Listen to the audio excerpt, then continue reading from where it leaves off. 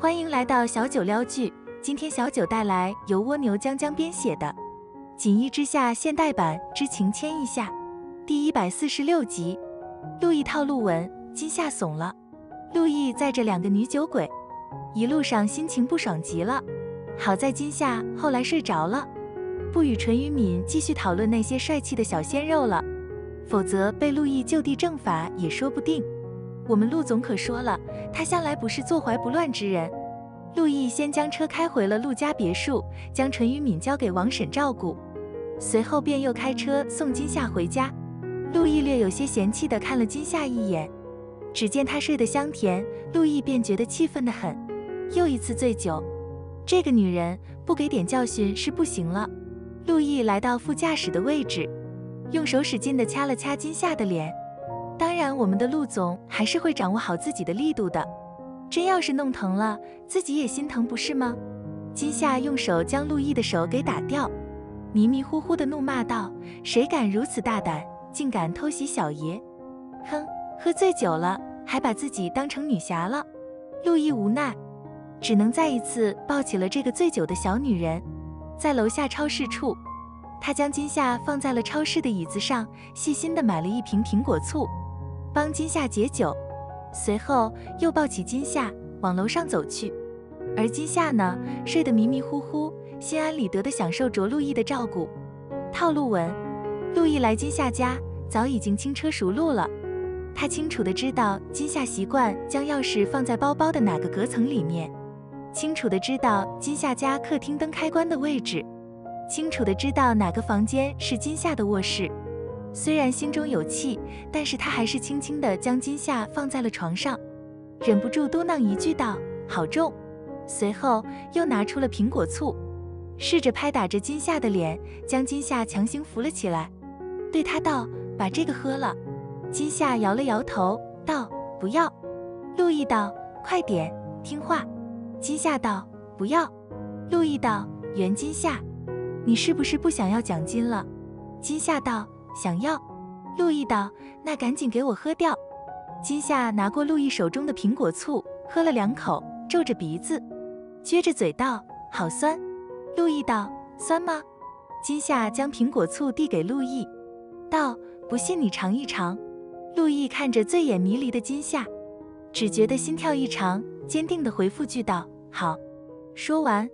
便情不自禁开始亲吻金夏，而金夏手中的苹果醋不小心掉在了床上，弄湿了床褥。陆毅慢慢的品尝金夏口中的苹果醋味道，在陆毅的引领下，金夏慢慢的张开了嘴，开始回应陆毅。金夏的回应让陆毅莫名的有些小兴奋，越发的放肆起来。直到金夏呼吸有些困难，陆毅才放开金夏，笑着道了句道：“你说的没错，果然是酸的。”金夏被陆毅吻的呼吸有些不顺畅，他质问陆毅道：“你怎么可以亲我？你占我便宜？”陆毅看着金夏笑了笑，又骗他道：“那我给你个机会，你可以亲回来，就当我们扯平了。”金夏觉得此话在理，他才不能被无缘无故占便宜呢。想到此处，金夏丝毫没有犹豫，立刻起身亲了陆毅一下。随后便分开了，坐在床上得意地看着陆毅傻笑。金夏的动作太快，让陆毅有了片刻微愣。他没有想到金夏会如此出其不意。陆毅看着金夏，问道：“袁金夏，你可知道我是谁？”金夏笑呵呵的道：“知道呀，你是陆总呀。”陆毅道：“那你为何亲我？”金夏道：“你让我亲的。”陆毅道：“我让你亲你就亲，那要是别人让你亲？”你也亲吗？金夏道：“别人我才不亲呢。”陆毅道：“那为何你要亲我？”金夏道：“因为你长得好看呀。”陆毅道：“只是这样。”金夏道：“那你还要怎样？好一个墨迹的男人。”陆毅道：“袁金夏。”金夏道：“干嘛？”金夏的话还没有说完，陆毅的吻便再一次的袭来。这一次，陆毅要比之前霸道一些，强硬一些。陆毅的一步步进攻，让金夏摔倒在床上，而陆毅也顺势压在了金夏的身上。陆毅感觉自己要疯了，要被金夏逼疯了。他感觉到自己要失控了，他努力让自己清醒过来，略微抬起身体，看着有些动情的金夏。不料金夏却煞风景地说了句道：“哪里来的小鲜肉？”小鲜肉三个字再一次刺激到了陆毅，该死，竟敢学习人家去追星。想到此处，陆毅坏坏的再一次吻了一下金夏。不过这次的吻与刚才的不同，陆毅故意咬破了金夏的唇，想要给他一个教训。疼！金夏推开了陆毅，陆毅心满意足的笑了。陆毅本想简单的惩罚下金夏，可是最后到底是惩罚了谁，就不得而知了。金夏怂了。虽然现场一发不可收拾，但是我们的陆总还是绅士的离开了。他不允许自己在金夏不清醒的情况下酒后乱性。有些事情，陆毅想要在金夏清醒的时候去做。陆毅有自信，一切都在他的掌控之中。可是，有人却不淡定了。